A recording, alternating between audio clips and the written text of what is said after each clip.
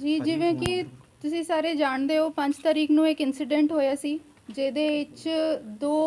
Groups ਦੇ ਵਿੱਚ ਪਤੰਗਬਾਜ਼ੀ ਨੂੰ ਲੈ ਕੇ ਲੜਾਈ ਝਗੜਾ ਹੋਇਆ ਸੀ ਤੇ ਬਾਅਦ ਚ ਅਨਫੋਰਚੂਨੇਟਲੀ ਇੱਕ ਯੰਗ ਮੁੰਡਾ ਸੀ ਹਰਮਨਜੀਤ ਸਿੰਘ 23 ਸਾਲਾਂ ਦਾ ਉਹਦੀ ਇੱਕ ਅਨਫੋਰਚੂਨੇਟ ਡੈਥ ਹੋਈ ਸੀ।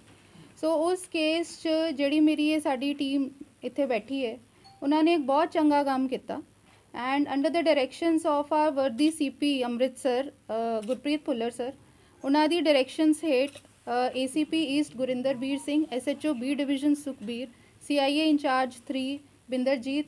ਤੇ ਇਹਨਾਂ ਦੀ ਜਿਹੜੇ ਸਾਰੇ ਸਾਡੇ ਮੁਲਾਜ਼ਮ ਹੈ ਉਹਨਾਂ ਨੇ ਦਿਨ ਰਾਤ ਇਹਦੇ ਵਿੱਚ ਕੰਮ ਕੀਤਾ and in less than 12 hours not only did we identify the perpetrators ਜਿਹੜੇ ਪਹਿਲਾਂ ਬਿਲਕੁਲ ਇੱਕ ਬਲਾਈਂਡ ਕੇਸ ਸੀ ਉਹਨਾਂ ਨੂੰ ਆਈਡੈਂਟੀਫਾਈ ਵੀ ਕੀਤਾ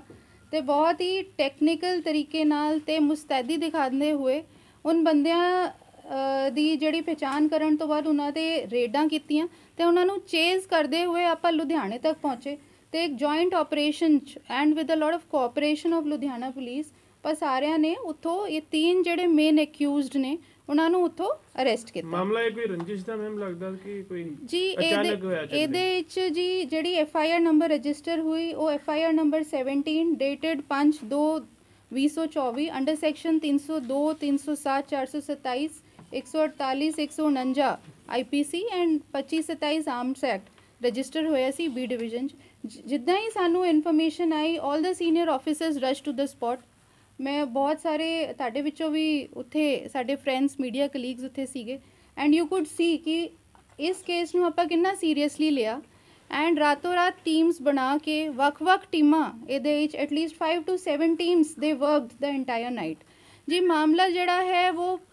ਇੱਕ ਸਿੰਪਲ ਇੱਕ ਇਨਸੀਡੈਂਟ ਹੋਇਆ ਸੀ ਕਿ ਇਹਨਾਂ ਦੀ ਆਪਸ 'ਚ ਲੜਾਈ ਝਗੜਾ ਹੋਇਆ ਸੀ ਪਤੰਗ ਉਡਾਉਣ ਨੂੰ ਲੈ ਕੇ ਵਿਚ ਦੈਨ ਐਸਕੇਲੇਟਡ ਐਂਡ ਉਹਦੇ ਵਿੱਚ ਫਿਰ ਅ, ਇੱਕ ਗਰੁੱਪ ਵੱਲੋਂ ਗੋਲੀ ਚਲਾਈ ਗਈ ਮਾਰ ਦੇਣ ਦੀ ਨੀਅਤ ਤਾਂ ਮੈਡਮ ਟੋਟਲ ਕਿੰਨੇ ਜਾਣੇ ਉੱਥੇ ਪਹੁੰਚਦੇ ਨੇ? ਕਿੰਨੇ ਜਾਣੇ ਉੱਪਰ ਮਾਮਲਾ ਦਰਜ ਕੀਤਾ ਗਿਆ ਜੀ? ਫੈਮਿਲੀ ਦੇ ਸਟੇਟਮੈਂਟਸ ਦੇ ਅਨੁਸਾਰ ਉਹਨਾਂ ਨੇ ਜਿਸ ਜਿਸ ਬੰਦਿਆਂ ਦੇ ਖਿਲਾਫ ਉਹਨਾਂ ਨੇ ਐਫ ਆਈ ਆਰ ਰਜਿਸਟਰ ਕਰਾਣੀ ਸੀ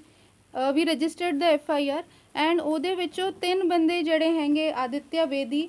ਔਰ ਜੁਗਰਾਜ ਸਿੰਘ ਔਰ ਸ਼ਮਸ਼ੇਰ ਸ਼ੇਰਾ they have already been arrested ਇਹਦੇ ਵਿੱਚ ਇੱਕ ਬਾਈ ਨੇਮ ਅਕਿਊਜ਼ਡ ਹੈ ਪਰਵਿੰਦਰ ਬੇਦੀ। ਉਹਨੂੰ ਵੀ ਉਹਦੀ ਵੀ ਆਪਾਂ ਤਲਾਸ਼ ਕਰ ਰਹੇ ਨੇ ਤੇ ਬਹੁਤ ਛੇਤੀ ਆਪਾਂ ਉਹਨੂੰ ਵੀ ਫੜ ਲਾਂਗੇ। ਪੁਰਾਣਾ ਕੋਈ ਸੀਸੀਟੀਵੀ ਦੇ ਵਿੱਚ ਬਹੁਤ ਜ਼ਿਆਦਾ ਨੌਜਵਾਨ ਦਿਖਾਈ ਦੇ ਰਹੇ ਨੇ ਸੀਸੀਟੀਵੀ ਜਿਹੜੀ ਸਾਹਮਣੇ ਆਈ ਹੈ ਜੀ। ਦੇਖਿਏ 올 the accused they have been identified we have identified 8 to 10 more people in this case but due to investigation reasons and obvious reasons ਮੈਂ ਉਹਨਾਂ ਦੇ ਡੀਟੇਲਸ ਤੁਹਾਡੇ ਨਾਲ ਸ਼ੇਅਰ ਨਹੀਂ ਕਰ ਸਕਦੀ ਹਾਂ ਕੋਈ ਪੁਰਾਣਾ ਅਪਰਾਧ ਇਹਨਾਂ ਦੇ ਰਿਕਾਰਡ ਕ੍ਰਿਮੀਨਲ ਰਿਕਾਰਡ ਕਿਸ ਤਰ੍ਹਾਂ ਦਾ ਯੈਸ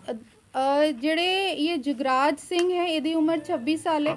ਤੇ ਇਹ ਤੇ ਪਹਿਲਾਂ ਵੀ ਇੱਕ F I R number 313 dated 30/10/23 323 24 B division ਥਾਣੇ ਰਜਿਸਟਰਡ ਹੈ। ਆਦਿਤਿਆ ਬੇਦੀ, ਇਹ ਤੇ ਵੀ ਇਹੀ ਪਰਚਾ ਰਜਿਸਟਰਡ ਹੈ। So as you can see ਕਿ ਇਹ ਸਾਰੀ ਜਿਹੜੇ ਬੰਦੇ ਹੈ, ਇਹਨਾਂ ਦਾ ਇੱਕ ਪ੍ਰੀਵੀਅਸ ਕ੍ਰਿਮੀਨਲ ਬੈਕਗ੍ਰਾਉਂਡ ਰਿਕਾਰਡ ਸੀ।